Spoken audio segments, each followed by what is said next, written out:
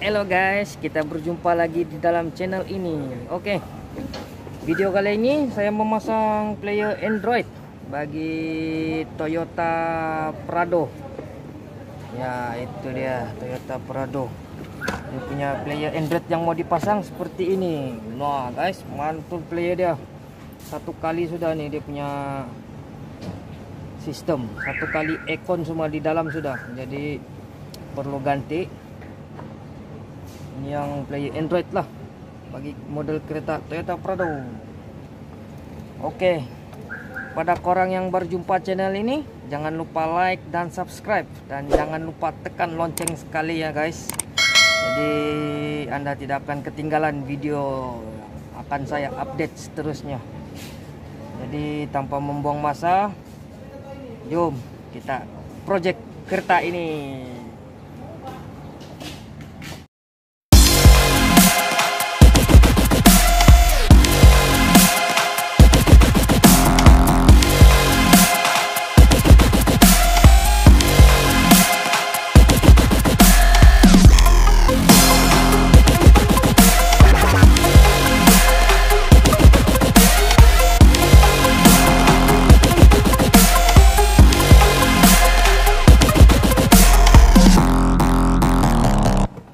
Oke inilah player original dia. Jadi ini kami kena gantilah. Dia menggantikan player Full screen sudah. Dia punya panel-panel ikon ni pun Kena ubah sudah ni. Eh, dia menggantikan player seperti Ini. Ini dia punya player. Wah. Pak. Nah, Itu dia. Bukan kaleng-kaleng Oke, jom teruskan proses ini. Ini sudah kena buka, jadi badan dia ini perlu buka lah semua nih.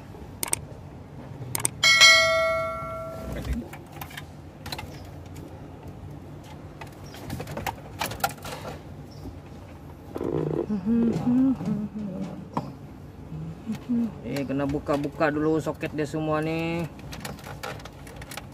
Dan pemasangan dia. Oke ini dia punya wire lah. Kalau kita tengok dia cuma perlu PNP saja nih jadi tinggal kita kena cucuk pasang sajalah mungkin wiring tidak banyak mungkin tidak banyak wiring nih cuma ada PNP mana yang perlu kita cucuk kita cucuk saja. Tapi banyak juga dia punya wire lah. Itu dia. Jadi ini wire semua kena pasang lah. Jadi dia ada sudah sedia soket untuk kereta Toyota nih untuk kereta Toyota Prado. Oke okay, kita tinggal dia punya kereta Toyota Prado. Oke okay. bak nah, Toyota Prado oke.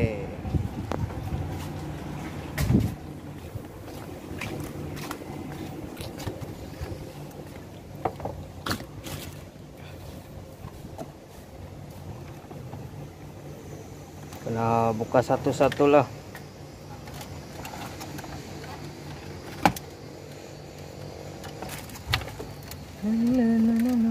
Oh, beginilah keadaan di dalam nih Tunggu sudah terbuka. Kereta Toyota Prado.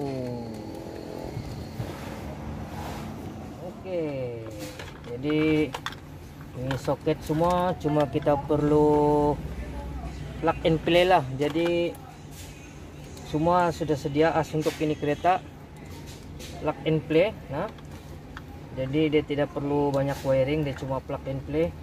Cuma ada sedikit yang perlu diubah lah dari segi dia punya kamera kamera kena ubah sedikit. Sebab dia tidak ngam dia punya connection lah. Oke jadi yang lain cuma perlu plug and play saja. Oke nanti kita tengok hasil dia macam mana. Jadi setelah kita siap pasang kita tengok. Jadi dia punya itu original dia semua kita, kami sudah buka lah. Oke jadi yang original dia seperti ini nih tidak perlu guna sudah lah. Uh, yang ini nih tidak guna sudah. Ini ekor tidak guna sebab dia pindah di sini sudah. Oke dia satu kali dalam player sudah nih. Jadi dia punya player pun besar juga cantik. Jadi tinggal pasang dia punya kamera lah kena ubah soy sedikit oke. Ini player original dia. Oke. Jadi ini semua sudah kami buka dan ini tidak perlu guna sudah yang ini. Ini tidak perlu guna ini tidak perlu guna ini tidak perlu guna. Dia menggantikan touchscreen sudah semua. Oke. Jadi yang kita perlu pakai hanyalah ini saja yang perlu ambil balik. Jadi yang lain nih tidak perlu guna sudah. Oke itulah dia. Kita akan ubah suai dia. Kasih jadi modern dulu. Ganti player Android. Nampak? Ini kita kena buka habis lah di kereta Toyota Prado. Oke okay. punya player. Dan akan kami buka Oke, sudah siap wiring dan setting. Jadi masa untuk pasang baliklah kabel-kabel dia. Oke kita pasang dulu dia punya kabel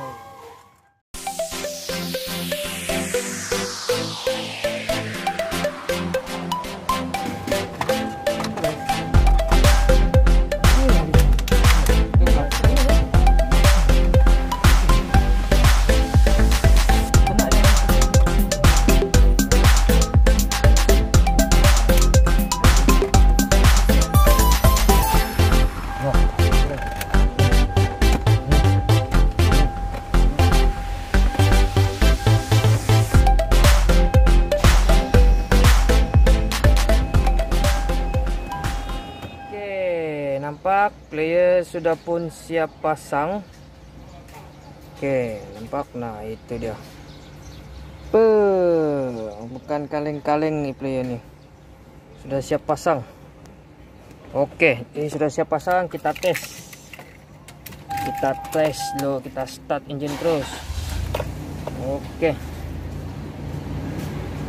Pak engine sudah start. Pe, itu dia dia. Ini dia punya player Oke, ini player Android.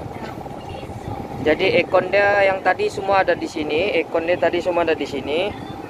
Jadi sekarang ekon dia untuk manual ada di sini, kiri kanan edges dan juga dia touchscreen juga ekon dia nih.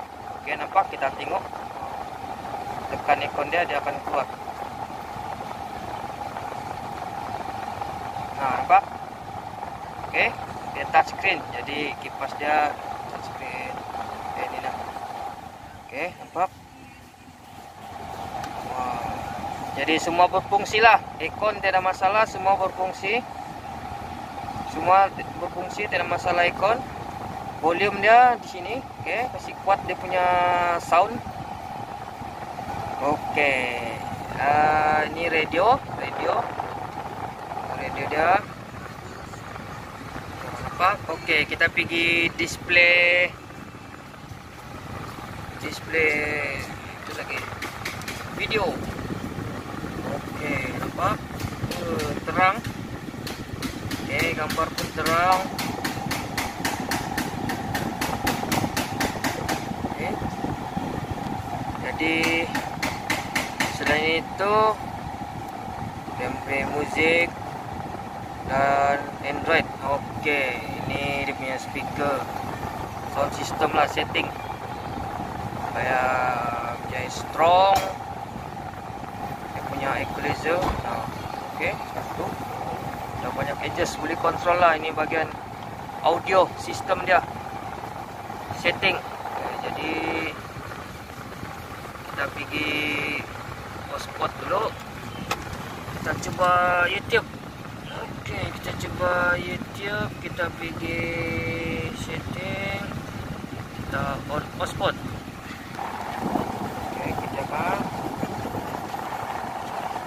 kita on hotspot dulu. Oh, mana hotspot?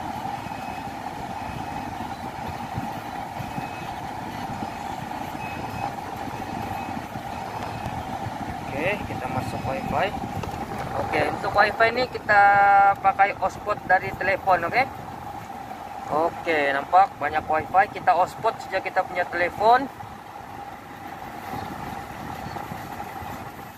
Kita hotspot sejak kita punya telefon, kita on hotspot dah akan keluar. Okey, saya connect dulu ini.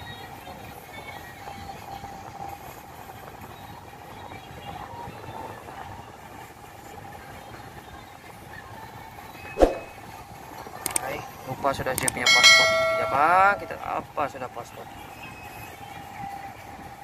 Coba try masuk apps dah.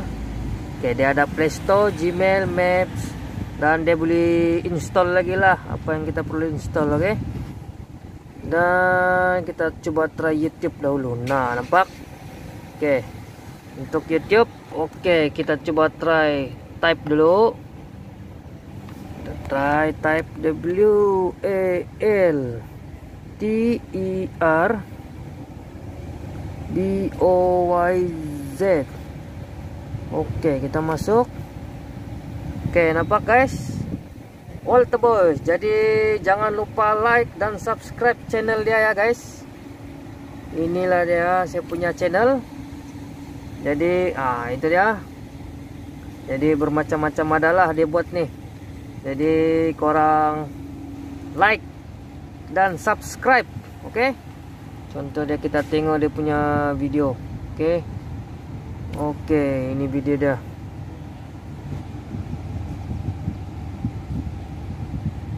Oke, ini salah satu saya punya video. Jadi kita tengoklah. Oke, untuk maps korang boleh tekan saja ini map klasik auto lah.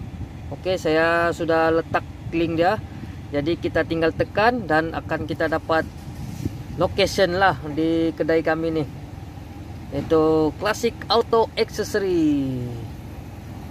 Itu dia. Jadi jangan lupa like dan subscribe.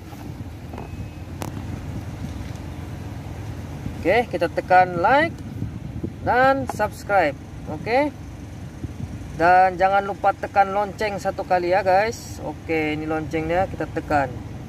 Oke, supaya Anda tidak ketinggalan update video terbaru dari saya. Oke. Nampak dia. Kita kasih full screen lagi dia. Mungkin mungkin nampak lebih besar. Nah oke. Oke siaplah pemasangan player Android bagi kereta Toyota Prado. Oke untuk model kereta lain pun ada juga jangan risau. Oke kepada korang yang berdekatan dengan Kota Kinabalu Sabah atau Kepayan 88 nih orang boleh datang terus ke kedai kami Klasik Auto Accessory oke Location ada saya letak di bawah. Korang boleh tekan saja link map location untuk Classic Auto Accessory. Jadi korang boleh terus datang ke ke sini dan kita berjumpa di sini. Jadi kepada korang yang ingin memasang aksesori kereta atau sound system atau cek aksesori kereta anda bolehlah datang terus ke kedai kami.